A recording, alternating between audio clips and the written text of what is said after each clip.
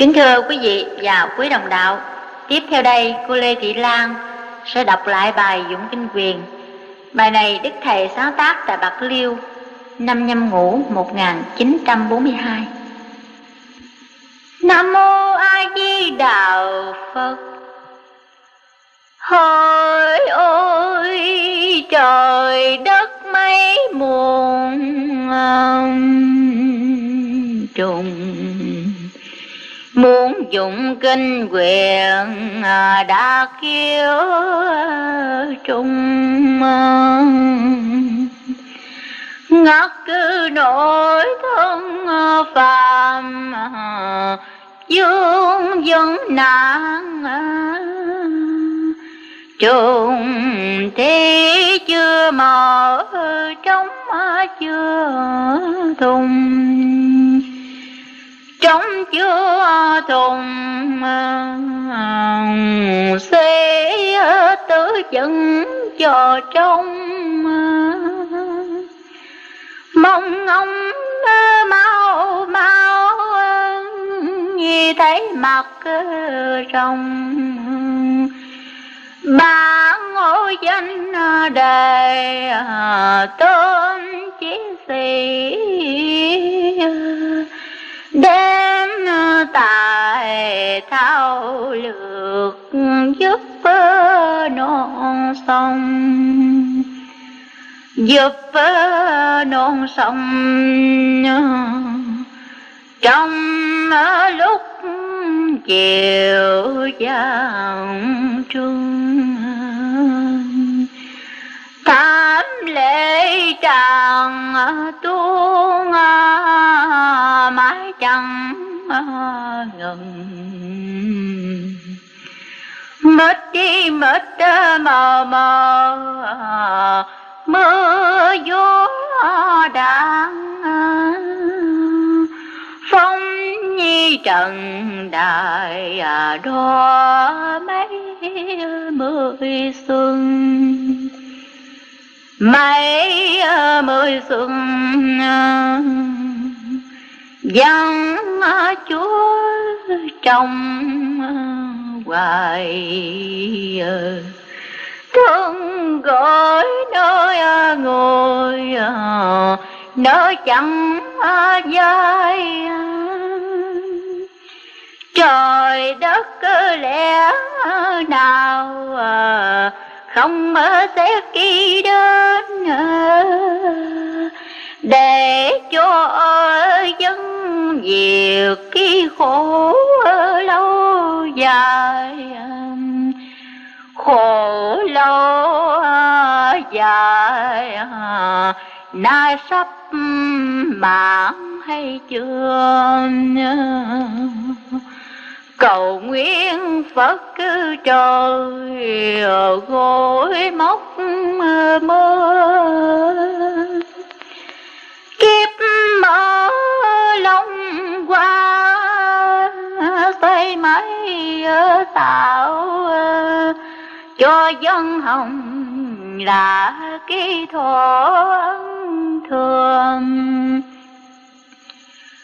thọ thừa mà được canh nhàn an trăm họ đầu đê à, trước thánh à, hoàng. Nguyện giữ ca thường, dình phật ngữ đạo giáo hòa mãi mãi với lần bằng với lần ban sẽ dứt mối thầm thù. Trên dưới một lòng chỉ nguyện tu chẳng dám trễ bê đường, đạo đức đặng mong ni chẳng dướng cành áo tu cành áo tù, giờ dân phải còn mang nắng chiều trên ờ, đầu ờ, héo ruột ờ, gan chi dốc thuốc ly dòng xích nở tòa cầu trên ý tâm chúa chừng ở ngài vàng chúa dừng ngai vàng à, sai mới yên. Rồi ngay cảnh tục đi trở về tiên. Chẳng còn tham luyến nơi trần thế vì cả thế gian nghĩ hết trời nào phiền nam mô a di đà phật Trung cơ ban phổ thông giáo lý tỉnh Phong Vinh sẽ thuyết trình về đề tài chữ hiếu trong Phật giáo Hòa Hảo và trân trọng kính mời vị đến diễn đàn. Nam mô Bổn sư Thích Ca Mâu Ni Phật. Nam mô A Di Đà Phật. Lễ phép cúi đầu kính chào quý ông bà, cô bác và toàn thể chư quý việc gì kính mến. Kính thưa quý bậc lão thành, kính thưa ông cố vấn Hội đồng trị sự Trung ương, kiêm trưởng ban giáo lý tỉnh Châu Đốc, kính thưa nhị vị kiếp truyền viên, kính thưa quý cấp trị sự giáo hội Phật giáo Hòa Hảo, cùng là quý cấp chấp hành Việt Nam Dân Chủ Xã hội Đảng của Đức Thầy Tôn Kính. Kính thưa các ban quản trị, ban quản tự, các bậc giảng đường và tự viện. Kính thưa quý tu sĩ, quý thân hào nhân sĩ, cùng là quý đồng bào, đồng đạo thân mến. Thưa liệu quý vị, hôm nay đến tại lộ xứ này thuộc về cái xã Hòa Hảo mà chúng tôi nhận thấy đó, chúng tôi rất yêu mến khi nói trở về các vị thuyết trình viên tâm tư đều có một đi đó đây các nơi nhưng mà được ban tổ chức ghi cho mình cuốn sổ tay là ngày đó, tháng đó trở về dùng thánh địa. Thì mình có cảm nghĩ với đứa con lạc lại bơ vơ, nay được trở về tổ ấm. Chúng tôi mà có dịp trở về dùng thánh địa, làm như trong tâm tư có một cái gì cởi mở khắp khởi? Thì tại cái địa điểm này chúng tôi nhớ không lầm đó. Thuộc về dĩ dãn chưa quá hai năm, chúng tôi có trở về đây một lần và hôm nay cũng tại địa điểm này được gặp chư quý ông bà, cô bác, anh chị em trước bầu không khí trang nghiêm đồng hậu. Vậy, cái diễm phúc mà chúng tôi không thể dùng lời nói hết được đó là thuộc về cái vùng thánh địa ôn cốc lớn. Thế mà quý ông bà, cô bác, đáng lẽ là chúng tôi về đây để được sự thụ huấn của quý ông bà. Nhưng mà ngược lại, các ông bà cũng vẫn nhường cái diễn đàn cho tôi, để được chúng tôi được lên đây trình bày qua cái giáo lý siêu thượng của tổ thầy thật tình cái điều đó quả là tấm ân khó thể quên được trong đời thành đạo của tôi. Thưa quý vị, vậy tiếng nói trước của chúng tôi là xin thay mặt cho ban giáo lý tỉnh phong vinh, chân thành gửi đến chư quý vị lời chào kính cẩn và với sự biết ơn sâu đậm nhất của chúng tôi. Thưa quý vị, giờ đây chúng tôi bắt đầu vào cái bổn phận, nhưng mà trước khi vào bổn phận, chúng tôi cũng trình bày thêm một ít ý nghĩa của gì mà chúng tôi muốn nói dĩ nhiên quý ông bà đã từng biết, cái giáo lý siêu thượng của tổ thầy đó phát xuất từ buồng tim cửa phổi của một bậc giải thoát chính là đức giáo chủ họ quỳnh. Mà người nói lại cái ý đó, đồ lại cái giáo lý đó là cái người phàm phu tục tử, nhất là những hạ nữ nhi như tôi. Thì làm nói nốt được ý nghĩa của tổ thầy và làm sao đủ khả năng khai thác những cái gì cao sâu màu nhiệm nhất? Những cái gì mà đưa con người từ bờ mê sang bến giác một cách tuyệt vời. Ở đây, chúng tôi ngưỡng mong cho quý bậc cao minh hãy nghe với tinh thần cởi mở và hãy nghe với phương tiện còn hơn cứu cánh. Thứ tha hơn chắc mắt, chúng tôi mới dám trình bày.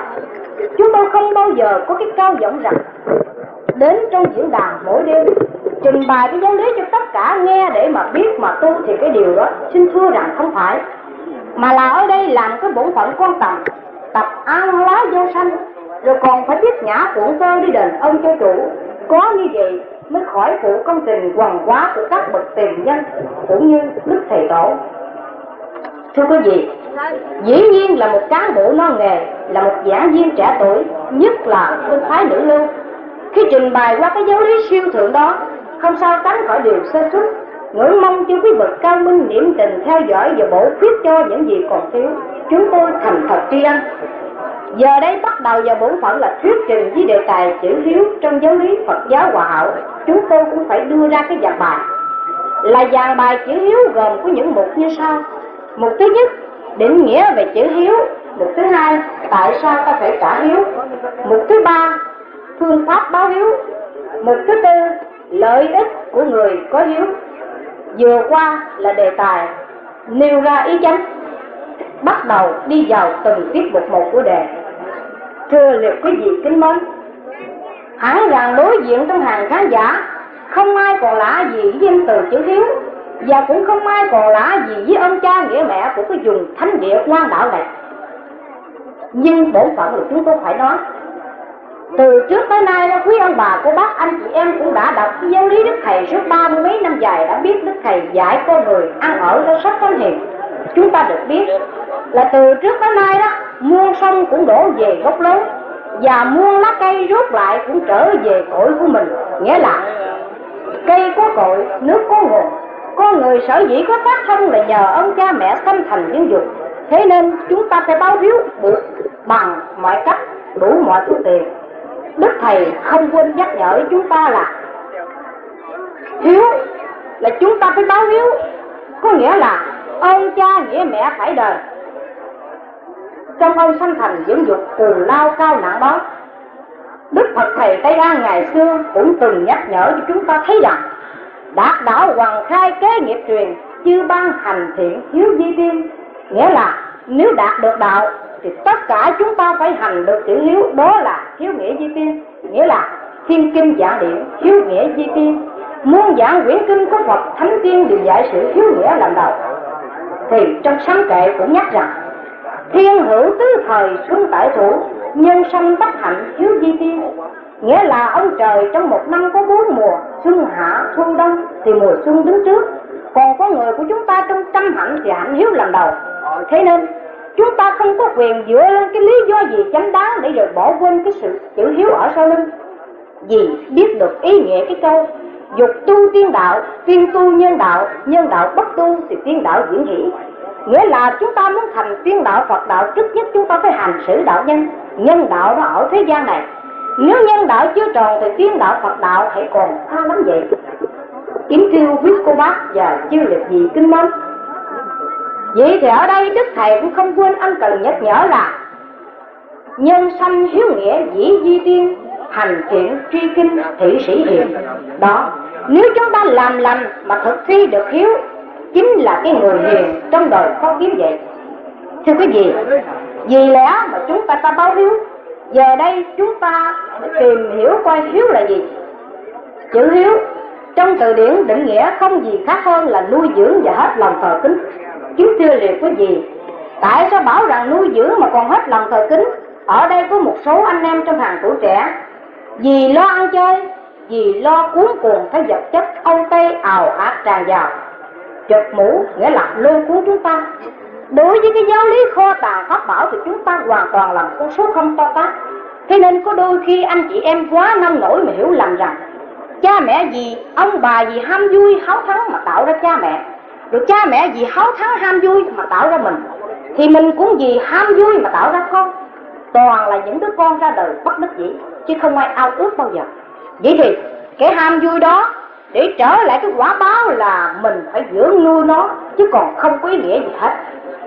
Thưa quý vị, thế nên có lắm lúc, có người, có cha, có mẹ mà nghĩ như mình đã chết bằng cách là cũ mẫu tại đường, họ dẫn đi xa cái đi xa ở đây không phải là cái lập thân hành đạo dương danh ư hậu thế, mà là càng đi xa càng gây đau khổ, càng xa gia đình, càng để khổ lụy cho mẹ cha.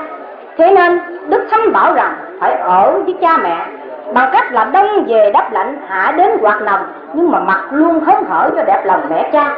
Kính thưa quý vị, hiếu là nuôi dưỡng. Các anh chị đừng có hiểu lầm rằng nuôi dưỡng cha mẹ cho ăn đó gọi là hiếu đức thánh hỏi các đệ tử coi, hiếu là gì? Thì người ta gọi là hiếu là nuôi dưỡng. Đức thánh hỏi, nuôi dưỡng là gì? Người ta đáp, người ta đó chính là đệ tử của đức thánh, đáp rằng nuôi dưỡng là cho ăn. Đức thánh mới nói, nếu bảo rằng nuôi dưỡng mà hiếu thảo đó, thì là ta xin hỏi tiếp, nuôi ông bà có phải cho ăn không? Và cho ăn. Phải nuôi cha mẹ, người ăn kẻ ở trong gia đình có phải cho ăn không? Và phải cho ăn. Rồi nuôi gia súc, heo, bò, ngọ, ngựa, chó, mèo, có phải cho ăn không? Nó phải cho ăn. Đức khánh nói ở các cái nuôi nào cũng phải cho ăn mới sống, nhưng khác nhau con đều kính nể và không kính nể. Nếu bảo rằng cho ăn là hiếu, thì cho cha mẹ cũng ăn và nuôi gia súc cũng phải cho ăn. Nếu bảo rằng thiếu kính nể thì cái sự cho cha mẹ ăn mà quăng ngang dục ngửa mặt nặng mài này chẳng khác nào cầm một đống lúa gạo thảy ra nuôi súc dập về đau thương quá. Một câu nói của đức thánh nghe nhức cả óc, trôi cả con tim. Nhưng bình tâm nghị luận kỹ thì chúng ta thấy rằng đó là một câu chí lý vô cùng. Thuốc đắng hay đã tập. Kính thưa chưa quý vị, vừa qua là định nghĩa chữ hiếu là nuôi dưỡng và hết lòng thờ kính mẹ cha giờ đây có ai là người trong giáo lý phật, trong tín đồ phật giáo hòa hảo làm được chữ hiếu đó không? Vì nuôi dưỡng. Và từ thở xa xưa nọ, có ai nuôi dưỡng được hay không? Thưa quý cô bác và chư đồng đạo, để minh chứng điều này, hồi mà đức thầy còn ở tại nhà đó, có một đồng đạo cũng thuộc trong tín đồ của thầy, mới đem cái giáo lý lại đứng trước mặt thầy và thưa rằng, thưa thầy, theo lời chỉ dạy của thầy, thì thầy nói, ai mà biết chữ tu trì cha mẹ còn sống vậy thì cho ăn. Nhưng mà con thấy có nhiều người cho cha mẹ ăn. Đôi khi còn làm cho cha mẹ phiền hà đau khổ. Như vậy có phải là hiếu không gì hả thầy? Lúc bây giờ đức thầy nín lặng rồi mới vui sắc mặt đoạn sau. Đức thầy mới đáp lại với ông khách ấy rằng, ở cho biết nhường biết tùy, vui lòng cha mẹ vậy thì mới ngoan. Kính thưa quý vị, đó ngoài cái việc cho cha mẹ ăn, mà còn phải cho cha mẹ ăn về món ăn tinh thần bằng cách là biết làm du tư tưởng của cha mẹ. Cũng như ngày xưa, trong nhị thập tứ hiếu đã lưu dấu cái hiếu của tăng sanh. Ông này mỗi khi dâng thức ăn đến cho cha, dù đồ ngon hay đồ dở, ông cũng phải điều đổi mâm cơm ở trên đầu tỏ lòng cung kính tận tình. Đến khi cha ăn đó, ông đứng quỳ một bên hoặc là đứng hầu coi cha, mình ăn thức ăn hôm nay có vừa ý hay không? Đến khi cha ăn xong tăng sanh còn phải quỳ xuống lần thứ hai là, thưa cha, đồ ăn dư này cha nên cho ăn. Làm như vậy hôm nay chúng ta thấy có ích lợi gì? Rất có lợi với ông bà, cô bác và anh chị em. Làm như vậy đó, để cho cha của ông tăng sanh lẫn tăng tích thấy rằng, tóc mình đã bạc, mắt mình đã lờ, tay mình đã run gối mình đã mỏi. Từ cái việc xã hội cho tới việc gia đình, lớn cho tới nhỏ, không giúp ích được cho ai. Nhưng dưỡng phúc thay tới cái tuổi già này mà con nó còn vẫn dành trọn cái quyền khai thác với chính mình định đoạt. Thậm chí cho đồ ăn mình ăn còn dư mà nó hỏi cho ai nó mới dám. Thế nên ngước mặt lên trời. Ông tăng tích đội ơn phật trời là đã ban cho tôi một đứa con hiếu thảo. Thế nên tăng tích rất vui cho đến khi nhắm mắt, chứ không phiền hà con thơ được. Vậy thì hôm nay, nếu chúng ta là một trong ngàn vạn đứa con khác đều làm những cái hiếu gì, cha mẹ có còn chỗ nào phiền hà được không? Chưa kêu, thì nó đã trực chờ rồi chưa sai. Nó thấy sai nó là, đó, tất cả công chuyện gì đó thì làm sao có chỗ trống mà cha mẹ phiền hà được. Đó gọi là hiếu trong khi nuôi dưỡng. Thưa quý vị, vừa qua định nghĩa về chữ hiếu. Bây giờ thứ đến, tại sao chúng ta phải báo hiếu đây? Tham có người đó, quý ông bà, cô bác và anh chị em. Trước khi làm cái việc gì, chúng ta cũng phải hiểu cái kết quả của nó. Chẳng hạn như buổi thuyết trình giáo lý hôm nay, kẻ tốn công, người tốn của, quý cô bác coi, anh chị em nghĩ coi một buổi thuyết trình ít gì để về phần đãi ăn tốn kém săn nhớ của các phái đoàn trở về tham dự đó. Chúng ta bỏ con toán mà tổng cộng. Kém lắm là một trăm ngàn lấy lên. Vậy một đêm nó thuyết được mấy tiếng đồng hồ. Khai mạc 7 giờ thuyết tới tối đa là 12 giờ. Nó có 4, 5, 6 tiếng đồng hồ tối đa thôi. Nhiều khi nó có 3 tiếng đồng hồ mà tốn mấy trăm ngàn. Vậy thì một lời nói thấp trên diễn đàn tức là một đồng tiền đắt giá. Đó quý cô bác buông ra số tiền cái gì đó. Có khi nào quý cô bác cầm 500 đồng bạc xé bao giờ? Thế mà quý ông bà cô bác dám hùng vô năm ba chục ngàn, hai ba ngàn, năm ba ngàn để làm cái việc thuyết trình giáo lý. Mà về tới nhà thì mình không thấy mình lời được món đồ gì. Vẫn là vì biết được cái kết quả của hậu lan là gieo trái ngọt ăn được giống lành. Buông đi buông công đức thì dĩ nhiên tương lai được hưởng lời công đức. Đó đó là cái kết quả của việc làm mà mình mong muốn hôm nay thì ở đây trên phạm vi giáo lý của đức thầy có dạy hiếu thảo. Chúng ta trả hiếu. Được xong đó, ít lợi gì cho bản thân, ít lợi gì cho người chung quanh và ít lợi gì cho nhân quần xã hội. Có như vậy chúng ta mới làm. Thế nên, cái phần tại sao phải báo hiếu đó? Trước khi báo hiếu phải nhìn sâu vào giáo lý và nhìn kỹ coi giữa mình và cha mẹ mình có cái ân nghĩa gì, có cái thâm ân cao cả gì mà mình phải báo hiếu đây. Có như vậy đó, cái sự báo hiếu nó không chán mỏi và không báo hiếu gì xu hướng cũng không báo hiếu gì ham vui hay là không báo hiếu gì hữu ghen nào đó. Nên chúng ta mới được bền bỉ, nghĩa là báo hiếu ý thức trách nhiệm. Thưa quý vị thì ở đây đưa ra cái phần báo hiếu đó.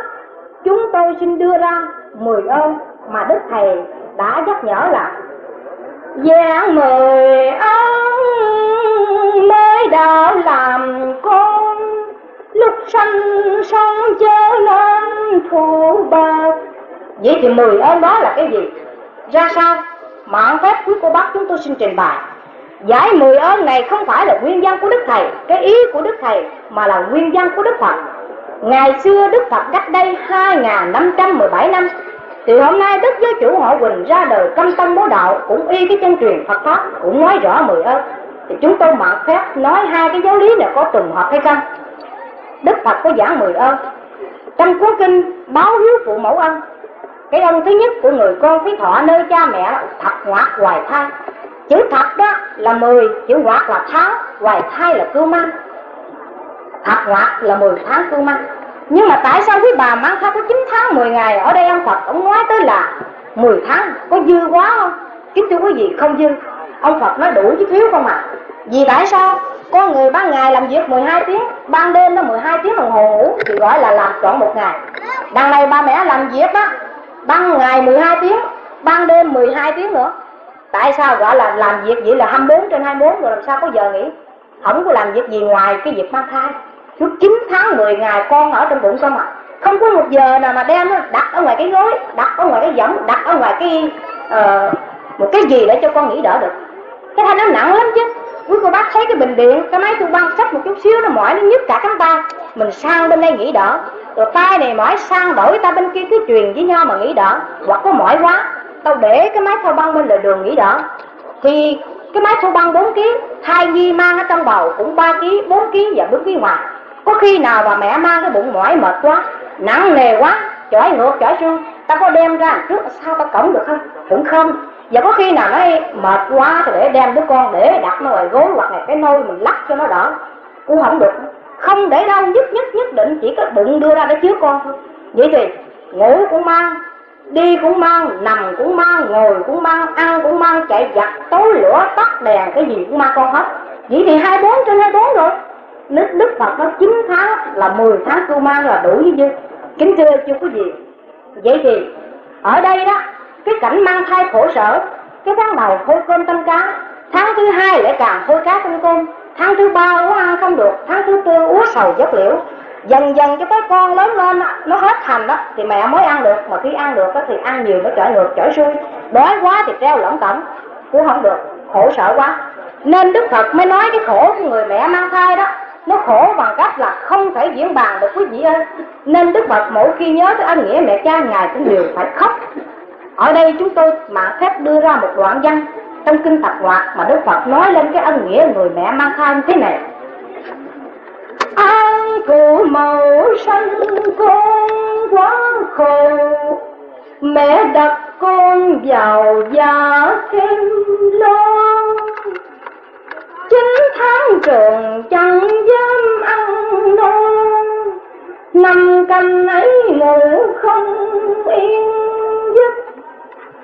cha mẹ bớt không rời khỏi đất. Dạ cưu mang lật đật giam đông. Tưởng chừng nào lũy ớ thăm tôi Chẳng nhớ đến ruột đau từng đoan Kính thưa quý vị, đó là âm thứ nhất. Mỗi khi nhớ tới mẹ cha chẳng lần ruột đau với ai dò xét. Bây giờ cái âm thứ nhì, lăn xả thọ khổ. Nghĩa là sanh con chịu khổ. Đến ngày khai hoa nở nhĩ thì bà mẹ phải chịu muôn phần đau đớn. Mặc dù trước khi sinh con đã gian giái Phật trời, Cho được mẹ tròn con vuông Nhưng rồi có hoàn cảnh xảy ra Là trời không chịu ý người, Nghiệp ai nấy lãnh.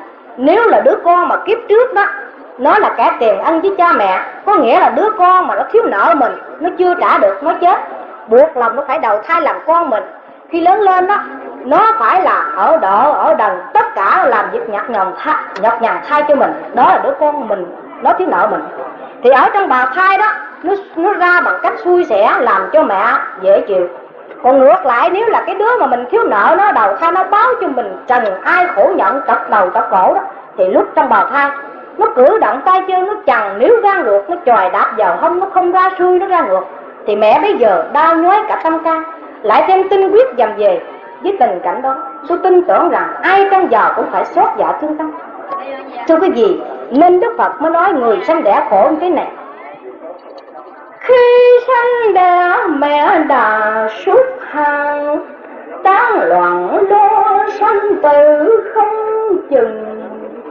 Chậm sanh thì cha giấy tưng bừng, bằng trì quân thủ giàu bấy tư chốn như quế đứng bên giường tư cúi đầu từ con trầu cho bao đến bây giờ hãy nghĩ trước sau ơn nghe ấy tương rau mời đơn quyết cô trì mẹ nằm một tháng bởi vì con thịt nát da cằn.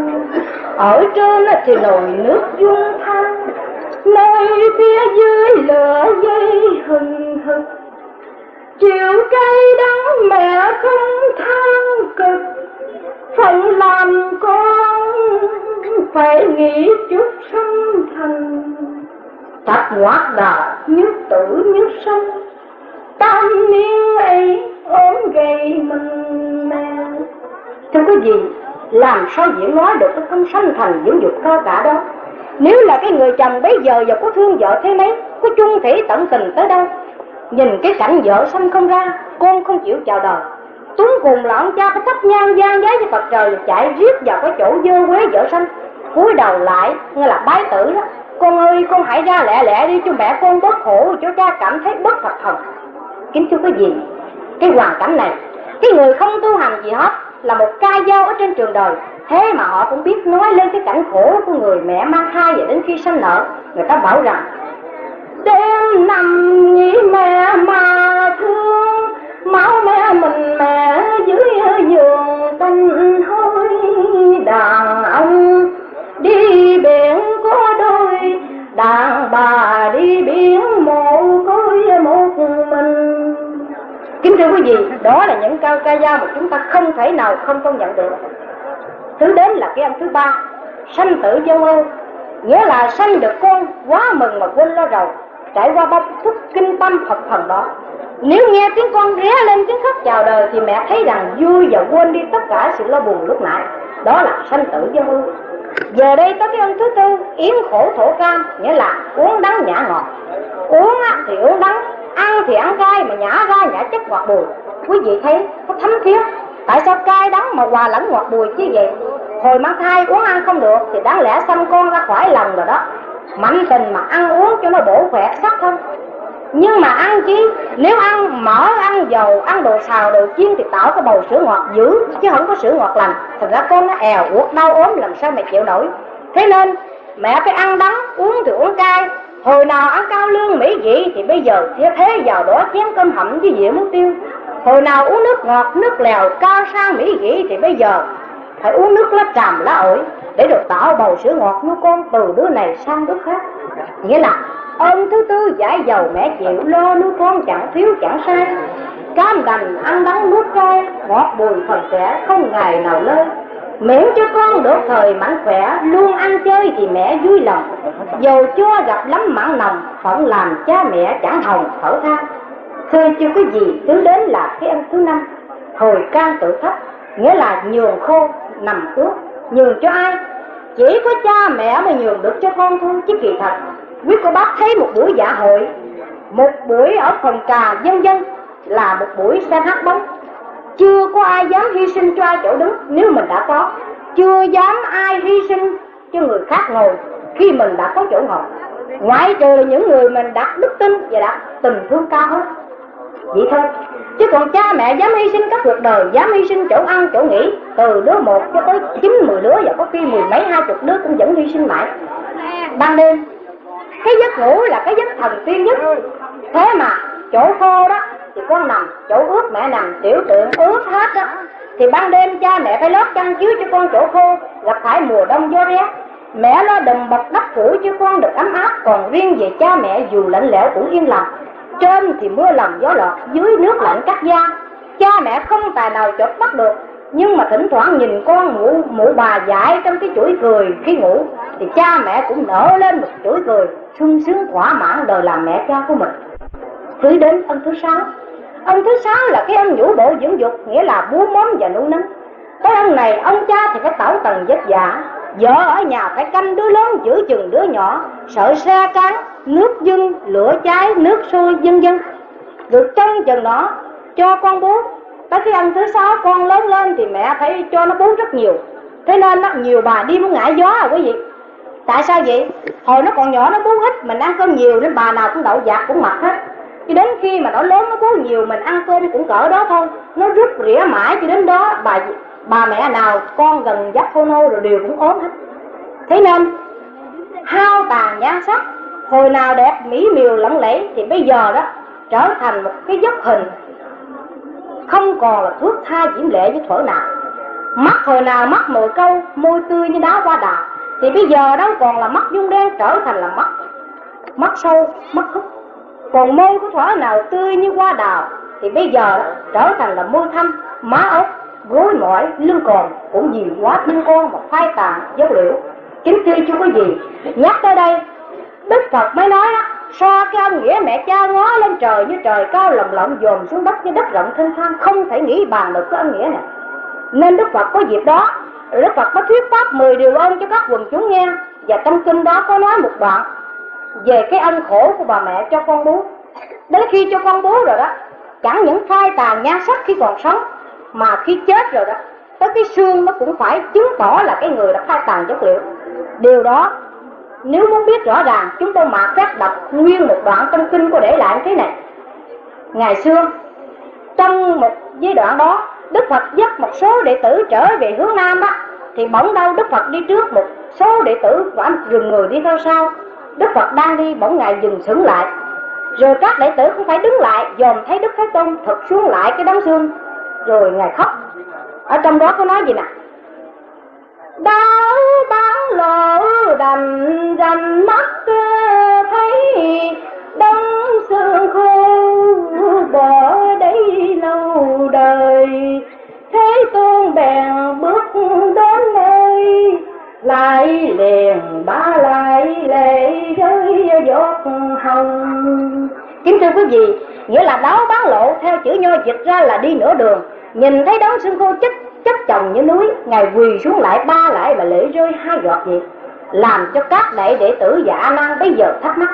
Thì a nan là người sáng suốt, lanh lẹ, nhanh nhẹn, nên mới đại diện cho một số đệ tử đứng trước mặt phật mà bạch rằng đức na nan mỗi ấy, ngài chẳng hiểu sao phật lại đóng xương.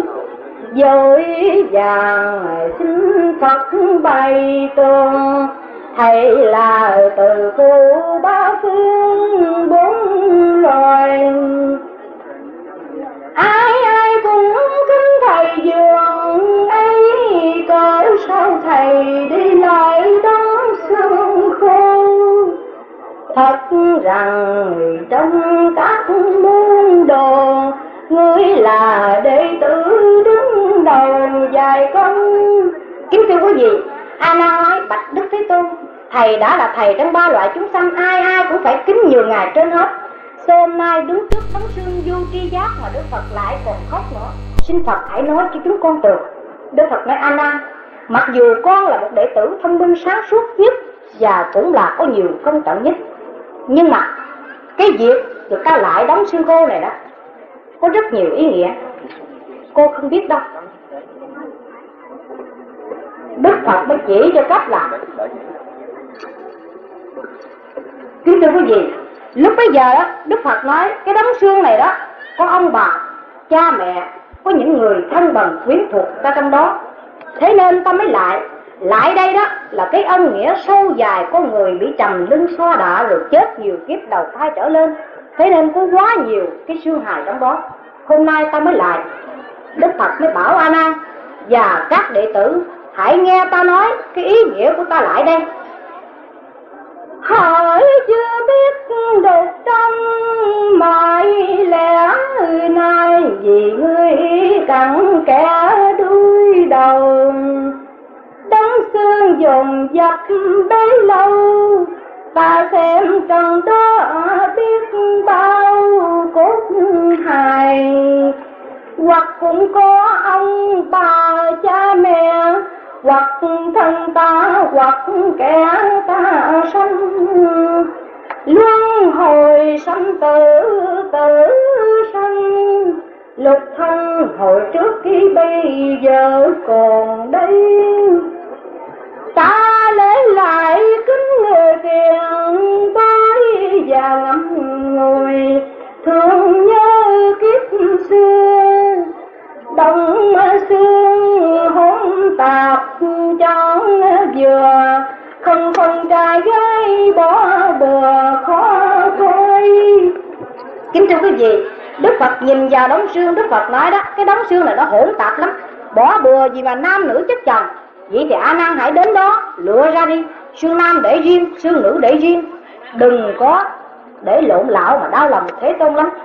Đức phật bảo rằng, ngươi chịu khó xét soi cho kỹ phân làm hai bên nữ bên nam để cho phân biệt cốt phàm, không còn lộn lạo nữ nam chất chồng. Kính thưa quý vị, nói tới đó đức anh an quá lo, thì người còn sống đó, trai gái đó, bây giờ họ ăn mặc không không phân biệt đành đi. Trai cũng mặc đồ tây gái cũng mặc quần tây, áo đam vân vân không phân biệt. Nhiều khi đó, trai cũng để tóc chấm óc gái cũng sát óc nhìn không được đành đi. Nhưng mà tiếng nói, nụ cười, gương mặt nói lên rõ ràng đâu là nam, đâu là nữ. Chứ còn chết rồi. Xác thực, rã hết. Thi hài còn lại giống nhau, làm sao phân biệt được. Nên a nan bây giờ lo quá ngài bạch rằng đức a nan mỗi lần tha thiết biết làm sao phân biệt khỏi sai. Dối vàng người xin phật chỉ bài vì khó chọn lựa gái trai lúc này. Hồi sắm tiền dễ tê sắp đặt cách đúng đi ăn mặc thân minh cho khi giá sát tiêu hình xương ai như nay khó nhìn, khó phân. Tội nghiệp lúc bây giờ đức phật thương cho a nan và các đệ tử ngại ngùng lo sợ quá, nên đức phật chỉ cho cái phương pháp lựa một cách rất dễ dàng. Phật nói rằng, này a nan hãy nhớ cho có thương nữ nam phân biệt khi rõ ràng.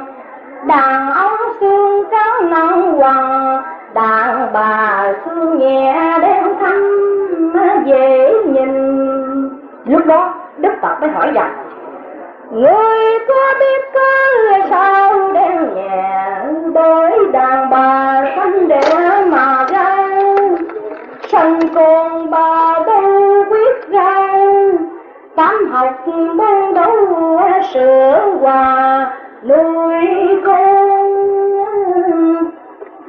Vì có ấy hao mòn thân xác xương đàn bà đang nhẹ hơn trai. À nàng nghe nói bi ai, xót thương cha mẹ công dài. Vốn nói kính thưa quý vị, khi a nan xót thương có ơn cha nghĩa mẹ đó, thì a nan khóc.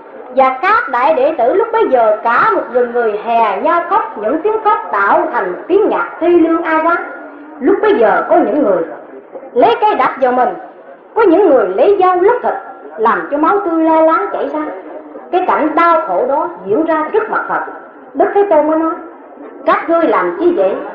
Thì ông đó nói, bạch Đức Thế Tôn, từ trước đến nay con có tai như điếc, có ốc như điên, có mắt như mù, thân người như thân thú. Cha mẹ dạy một đàn, con làm một ngã. Cha mẹ dạy là lành, con làm lại dữ. Đôi khi chuốc lấy quán hờn của cha mẹ hôm nay nghe đức phật kể rõ mười ơn. Con đau lòng quá. Con đến với đức phật, nguyện cầu với đức phật chứng minh. Con muốn chạy riết về nhà quỳ bên chân mẹ cha đặt đầu tả tổ lập từ đời trở nên con không dám làm phiền cha mẹ nữa. Nhưng hỡi ơi, đã muộn rồi. Cây muốn lặng mà gió không chịu ngừng. Con có bất hiếu mà mẹ cha đã chết. Thế nên sự hối hận đó, con mới dùng cây đặt vào mình, dùng dao lóc thịt này để cho sự hối hận rơi bớt phần nào đức phật cắt ngang và bảo rằng, vô lý lắm. Chẳng hạn có một người nào đó dai trái để cha dai mặt để mẹ, ăn uống cũng trên vai, tiểu tiện cũng trên vai, đi quanh khắp hòn núi chu di đến trăm ngàn kiếp như vậy cũng không thể đền ơn cha mẹ được đâu, vì ông nó cao đẹp lắm. Chỉ có một cách tối diệu duy nhất đó là tu mới đền ơn cha mẹ được mà thôi. Kính thưa quý vị, vậy thì cái phần tu đi đền ơn cha mẹ mà phép quý vị, tôi xin trình bày sau của phần này. Bây giờ tiến đến là cái ơn thứ bảy ơn thứ bảy là cái ơn tẩy trạc bất tịnh, nghĩa là rửa ráo hết mọi điều dơ bẩn cho con.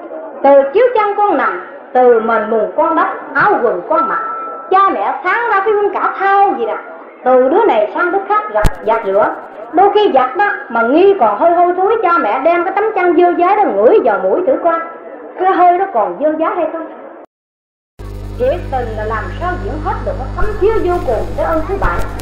Nhưng mà có một điều tuổi than đau khổ than khi cha mẹ mình đã già tiểu tiện cây dầm trong quần áo, tay run run không còn cái giặt đồ được. Và tay run run không còn tự gấp miếng ăn. Giờ run run không thể đi được một khoảng đường ngắn. Lúc đó, con nó có kề vai cổng mẹ, ẩm mẹ đa đa. Và lúc bây giờ con có giặt chiếu chăn và có ngửi những mùi ẩn của mẹ cha hay không? Nếu nó có thì chưa thấy ai làm tới đó. Mà nếu nói không, thì chẳng lẽ trên đời này bất hiếu hết sao? Thưa quý vị, chúng tôi xin đưa ra những hạng người có và cũng không có. Có cũng những người cha kêu mới dạ mẹ bảo mới đi. Rồi cũng có nhiều người, cha mẹ kêu không dạ bảo không đi. Nói một trả lời hai. Rồi cũng có nhiều người, mẹ đặt một cây cái nó cầm cây muốn giá lại rồi cũng có nhiều người, mẹ cầm đầu cái này, rồi con cầm đầu cái kia, hai mẹ con đẩy tới để lưu ở xa tao không biết ai đánh ai không biết mẹ đánh con hay con đánh mẹ. Cái chừng đẩy tới để lưu hai, ba cái, thật tình tôi chưa có gặp con lấy cây đánh mẹ thật chứ còn nó đánh riết nó xin lỗi bà, nếu mà làm lợi tôi không nói vậy nha, đẩy đẩy tới lưu hai, ba cái, đẩy cho bà ăn cái chừng buông cái bà già té bật ngửa bật nghe. Các bạn nói trời đánh mẹ mẹ nói chừng nào đó, bà té tự bà bà yếu bà té chứ tôi đâu đánh bà. Quý vị thấy không? Đó là những câu chuyện mà thiếu gì cha mẹ bị con bỏ rơi trong khi tuổi già sức yếu. Kính thưa quý vị, hoặc là họ nuôi cha mẹ đó, họ nuôi bằng cách hời hợt còn thua là họ nuôi những người mà bắt áp phe làm ăn. Hoặc là họ nuôi cha mẹ coi như là một cái nhân vật tội đồ vậy ở đây đó, để minh chứng một câu chuyện mà chúng tôi miễn nói tên. Vì cái câu chuyện này được đưa ra quần chúng để chúng ta bình phẩm mà rút lấy lại cái bản chất thanh tịnh của mình. Miễn nói tên cái người đó. Ở tại châu thành long xuyên đó, ở dưới long xuyên khoảng năm, bốn cây số tại đại quầy lớn. Chúng tôi có đến thuyết trình đó một lần. Được cái ông cụ và bà cụ tại đó nhắc cho chúng tôi một câu chuyện đau thương. Ông đó nói trước à tao nhắc cho bay nghe câu chuyện và đi ngang cái nhà ông đó ngày mai tao chỉ cho bay coi rồi bà thấy cái câu chuyện đó bay nhắc cho anh em tuổi trẻ người ta nghe tại chừa. Câu chuyện đó như thế này. Bà già này chồng chết sớm, mới sanh ra có một đứa con. Từ khi chồng chết, bà vẫn còn là một xuân xanh một thiếu phụ. Thế mà đóng cửa thủ tiết thờ chồng nuôi con đến khi không lớn bà về đó, ở với con trai đó. Lớn lên bà định vợ gả chồng, nhưng khổ nỗi vô phước là gặp nàng dâu không hiền hòa và cũng không hiếu để từ đó trở về sau đó, bà an tâm cái số phận là hãy đồng à, em thì khỏi nó con. Mà hãy khỏi nó con thì phải làm cá, không làm cá phải quét nhà, sắt chuối, bữa củi, vân vân. Đó, có làm xương xương ba hộp ăn cơm mới được, còn nếu không vô bữa đó chén ủa nó khua rầm rầm vậy nuốt không vô quen cái cuộc sống rồi. Bà quay đóng sòng mình là tôi đòi sống để gần con, gần cháu thôi. Có một hôm tháp một lúa, ở dưới ta làm lúa cấy nhiều. Cái cậu con trai bữa nay đó cậu đi kêu người ta cấy với nhổ mạ. Rồi cậu về cậu nói cho gia đình mà cậu không nói với mẹ hay là với vợ. Cậu nói chỏng chỏng cậu nói em ngày mai này đó nha, tôi kêu người ta về cấy gì đó, nhổ mạ đó, là 10 người với cái gia đình mình đó, thì liệu mà nói cô? Ngày xưa nàng dâu trong gia đình có chuyện thức trọn đêm để làm tròn cái bổn phận của mình, hoặc là phải ráng thức hơn khuya vô bây giờ đó cũng có một vài trường hợp là để bà vợ chồng làm dâu trở lại, bằng cách là trong trường hợp này, cô dâu chẳng cần ngủ tới sáng. Để bà giàu khuya đó, mấy bà già thì hay lo, sợ sáng rồi không có cơm ta ăn. Ba giờ bà cụ bà cụ lụm cụm thức dậy nấu cơm. Bà nấu cơm xong nó hừng hừng trời cái cô dâu xuống. Cụ thấy bếp thì còn nóng cụ dỡ nồi cơm ra cái cụ dằn cái nắp dung lên nồi cơm, cốt cốt vậy cái cuộc cất tiếng giọng cao quá thanh thao của nó ai hả? Ai nấu cơm hay quá hả? Cái bà vợ nó, má nấu ra con. Tưởng đâu được con nó em ai vậy nó bà nấu cơm cho ai ăn mà nấu nhiêu đó. Cái bà già nó chỉ nấu cho người ta đi ăn, đi làm cho mình đó con. Bà nấu hay quá, có lẽ là bây giờ chắc nấu thêm vài nồi nữa. Cái bà già nó, ủa, thiếu hả con? Bà xuống xuống thấy rồi nồi cơm ít thiệt. Bà nói tệ cho má làm sao mắt mũi lờ lợt hồi để mâm tao không có lường coi nhớ nhiêu tao chỉ khỏa nửa nồi nấu sau sáng lưng qua, rồi để má bắt nồi khác nha con. Bây giờ dọn ra cho khách ta ăn đi cái rồi má nấu nồi khác chính ủa cái cách ủa này thôi đi cái việc của bà làm đó nha. Một ngày đó ta làm chút xíu rồi à. Ê, vậy mà tối ngày bà cũng mang tiếng làm hoài người ta nói tôi nó đài đỏ bà. Ờ, thiệt tình thiết khí người ta kêu riêu tôi chứ bà làm không việc gì nên việc gì hết. Cái mấy cái người ta đi ăn lúa um, làm lúa cho bà đó, người ta nói nhỏ cho tạm cho nó lớn. Người ta nói hay quá, sao thức gì nấu đi ngủ chổng cả tới sáng mà bây giờ nói ra thưa quý vị, lúc đó đó, thì là người ta mới nói, ôi, nhiều cơm nó không có thiếu đâu, ăn đỡ đi. Ăn thua gì nhờ buổi chiều chứ buổi trưa ăn không có nhiêu đâu. Lật đật cái mấy dọn cơm ra, tội nghiệp cho tâm trạng bà già. Lúc bây giờ lo lắng. Nếu mình ăn một chén, thiếu một chén mà không ăn thì đi làm không được. Giờ người ta sợ, người ta biết mình vẫn có thôi bây giờ ăn. Bà bới một chén cơm mà bà già rồi ăn làm bộ chạy tới chạy lui lụp sụp vậy chứ còn sao không dám ngồi ăn nhiều. Ăn cơm xong còn nhiêu bà đợi ra ngoài đặng chua cho bà. Ăn giờ nó mau tới cái chắc trưa. 11 giờ kêu nghỉ thống nhất vô ăn cơm. Riêng của bà già thì không dám vô ăn. Bà nói nếu ăn chén, thiếu chén, thôi giờ mình không ăn. Mình cấy cộng, đỡ cộng, bà đứng bà cấy hoài.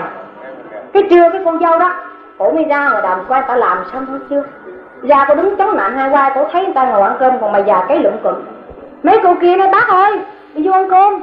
Bà già nói tôi không có đói mấy cô ăn đi. Cái người ta nói bà tôi nói thiệt với bà nghe cha mẹ thương mình cũng chưa bằng cơm nó thương mình nữa. Đói là chết. Mà ấy, no là sống. Bây giờ ăn ba hộp đi. Nắm lô bà già riết bà già không làm gì khác hơn là phải ngồi chấp nhận ở tạm ăn cơm. Bà bới người ta nói bớt cái nửa chén. Bà bấy già chén bữa theo nhau lửa cỡ, làm cho cả hì kịch làm như là bậm trợn lắm. Chứ kỳ thật là già ít hột ít hột tặng cho nó linh động hội trường, chứ kỳ thật là ăn uống có nhiêu cái người ta thấy vậy tội nghiệp quá đi. Người ta nói dành đó, là bữa đó ăn gồm có cá lóc kho và canh bầu nấu nước canh. Cái người ta mới xua và nó nói là, nè, hồi trẻ như con á nha, dễ ăn, hết canh ca nước lạnh. Còn bà già rồi ăn miếng thấy miếng, chan cho bà một miếng canh, gấp cho bà cướp cá lóc để lên cái nó ăn đi bác, ăn đi, bà đừng có nhường cho mấy con. Tiếng nói ngọt ngào thốt ra từ cửa miệng của một người không cùng huyết thống, làm cho bà tuổi hay tức không biết. Lúc bây giờ tự nhiên bà nghẹn ngang. Cái sao bà trợn trắng mắt à? Cái ta nói, sao vậy bác? Nghẹn hả bác? Chán cánh vô. Cái bà nuốt không được, nói chuyện không được, chỉ biết lắc đầu để rồi trả lời thôi. Cái người ta lúc đó người ta mới đỡ bà lên sắp bên vuốt ngực kìa nè vuốt riết rồi thấy bà trận trắng mắt rồi, hai giọt nước mắt nó chảy ra, không nói chuyện được. Cái bà làm cái phép gì mà thường thường mắt mắt nghẹn, cái lấy cái chén với đũa giọng cốc cốc đó quý bác giọng lát muốn lúng cô chén lát rồi bà già không xuống, nghẹn hoài. Cái bà hút hướng lên. Ở cái cậu coi chừng bà chết nha cái ngồi đó, cậu con, cái cô con gái, cái cô cô dâu đó, đứng kế bên không hề lợi tiêu má má sao vậy? Thì thôi dâu vậy tệ đành đi, còn thằng trai đứng kế bên, không hề lại đỡ mẹ, coi mẹ sao? Cũng đứng đó để cho người dân ta đỡ thôi mà. Cái bạn ngước qua cái phía con dâu chứ con trai đứng bà kêu một tiếng nghẹn ngào. Bà nói, con, má chứ. Nói một tiếng nghe không rõ. Bà nói rồi rồi đó. Cái rồi bà nứt nghẹn hai giọt nước mắt đó, nó chảy đầm đìa trên khóe lúc đó, bà nhả bún cơm ra, nhả không được. Ói bún cơm ra đó. Là tưởng bà nghẹn quá, bà phun cơm ra cho hết nghẹn ai ngờ đó ói muốn cơm ra rồi, sau đó những cái máu tươi từ từ huyết quản tuôn ra, hòa lẫn với nắm cơm đó. Ta gọi là nắm cơm chan máu quất hận gì con.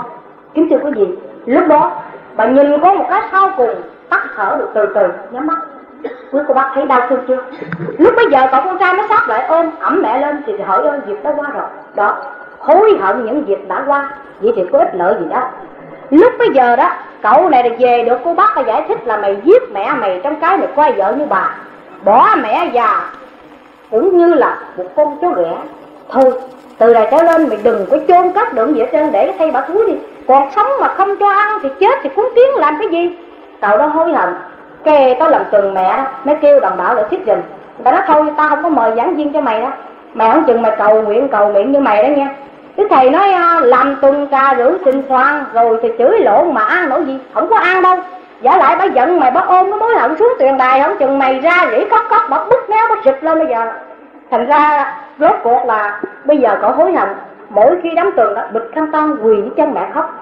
Ít lợi gì đó bây giờ, bịch bao nhiêu cái khăn tan, lại bao nhiêu lại, đốt năm ba thúng giả hương, cũng hoàn toàn vô nghĩa vì hối hận việc đó quá kính thưa chứ quý vị xuyên qua một câu chuyện như trên, thương cho cha mẹ.